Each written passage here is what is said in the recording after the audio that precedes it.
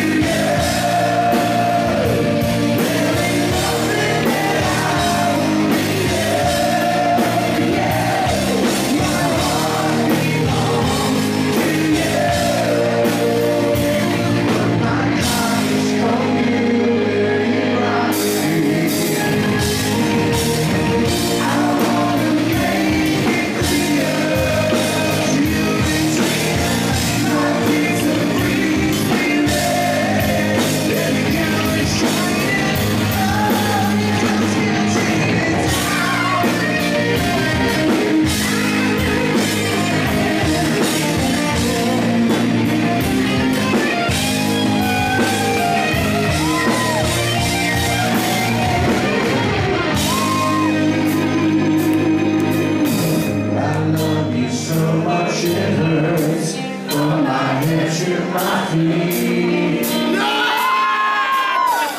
see your face and I can't help but find